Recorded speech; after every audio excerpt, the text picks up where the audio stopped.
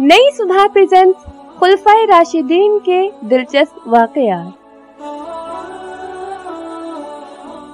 हुजूर अकरम सल्लल्लाहु अलैहि वआलिहि वसल्लम के असहाब रज़ी अल्लाह अनहुम के लिए घर तंग पड़ गया। इनकी तादाद अड़तीस के करीब थी। हज़रत अबू बकर रज़ी अल्लाह तहों को फ़िक्र लाक हुई कि इस कलम हक और नए दीन इस्लाम का बरमला ऐलान और इजहार हो। चुनाचे आप हुजूर अकरम सल्लल्लाहु अलैहि वआलिहि वसल्लम के करीब हुए और आप सल्लल्लाहु अलैहि वआलिहि वसल्लम से ऐलान हक और बैतुल्ला जाने का इसरार करने लगे। आप सल्लल्लाहु अलैहि वआलिहि वसल्लम ने फरमाया, ए अबू बकर, हमारी तादाद कम है, लेकिन हज़रत अबू बकर रज़ी अल्लाह तहो बार बार इस बात का इसरार करते रहे। हत्ता के रसूल अकरम सल्लल्लाहु अलैहि वआलिहि वसल्लम बाहर तशरीफ़ लाए। तमाम मुसलमान भी मस्जिद के अतराफ में चलने लगे और हर आदमी अपने कबीला व खानदान के साथ मस्जिद में दाखिल हो गया। फिर हज़रत अबू बकर रज़ी अल्लाह तहो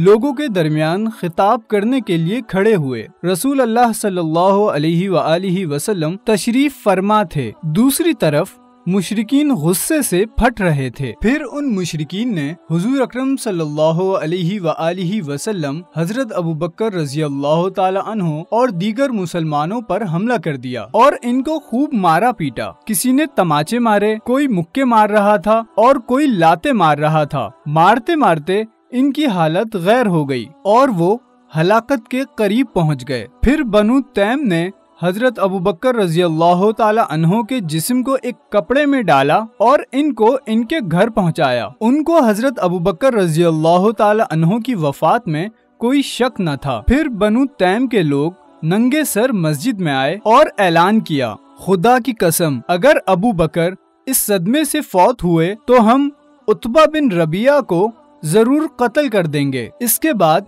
वो हज़रत अबू बकर रज़ी अल्लाह तहों के पास वापस लौटे। अबू कुहाफा, हज़रत अबू बकर रज़ी अल्लाह तहों के वालिद और बनु तैम के लोग हज़रत अबू बकर रज़ी अल्लाह तहों से बातें करते, मगर उनको कोई होश ना था, कोई जवाब नहीं दे रहे थे। शाम तक उन्होंने अपने होंठ भी नहीं हिलाए। फिर होश आने के बाद, पहली बात जो उनके मुँह से निकली, वो ये थी कि रसूल अकरम सल्लल्लाहु अलैहि वसल्लम का क्या हाल है? बनु तैम को हज़रत अबू बकर रज़ी अल्लाह तहों की इस बात पर बड़ा गुस्सा आया। फिर उन्होंने इनकी वालदा से कहा कि देखो इसको कुछ खिला दो या फिर कुछ पिला दो। इसके बाद वो हज़रत अबू बकर रज़ी अल्लाह तहों के इस फेल पर ताजुब का इजहार करते हुए वापस लौट गए। लेकिन हज़रत अबू बकर रज़ी अल्लाह तहों यही पूछ रहे थे कि हुजूर अकरम सल्लल्लाहु अलैहि वसल्लम का क्या हाल है? उम्मे जमील बिनते खत्ताब ने कहा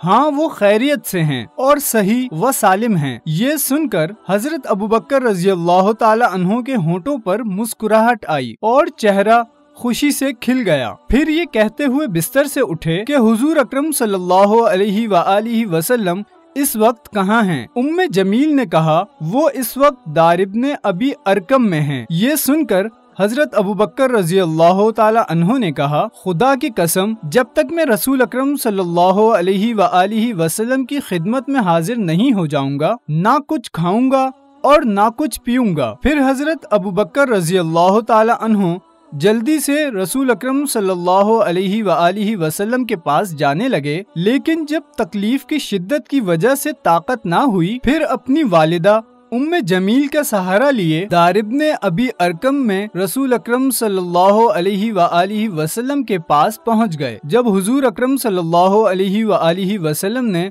हज़रत अबू बकर को देखा तो आप पर झुक गए और उन्हें चूमने लगे। दूसरे मुसलमान भी आप रज़ी अल्लाह तहों पर झुक गए। ये हालत देखकर रसूल अकरम सल्लल्लाहु अलैहि वसल्लम पर शिद्दत से रिक्कत तारी हो गई। फिर हज़रत अबू बकर रज़ी अल्लाह तहों ने अर्ज़ किया, या रसूल अल्लाह सल्लल्लाहु अलैहि वसल्लम, मेरे माँ बाप आप पर कुर्बान हूँ, अब मुझे कोई तकलीफ़ नहीं। सिवाय इसके, जो उस खबीस, यानी उत्बा ने मेरे मुँह पर मारा था, ये मेरी वालिदा हैं, अपने बेटे पर बड़ी मेहरबान हैं, और आप सल्लल्लाहु अलैहि वसल्लम की जात बड़ी बाबरकत है। आप इन्हें अल्लाह की तरफ़ दावत दीजिए और इनके लिए अल्लाह से दुआ कीजिए। उम्मीद है कि आप सल्लल्लाहु अलैहि वआलिहि वसल्लम की बरकत से अल्लाह ताला इनको नारे जहन्नुम से बचा लेगा। चुनाचे रसूल अकरम सल्लल्लाहु अलैहि वआलिहि वसल्लम ने इनके लिए अल्लाह से दुआ फरमाई तो वो इस्लाम ले आई। हयातुस सहाबा।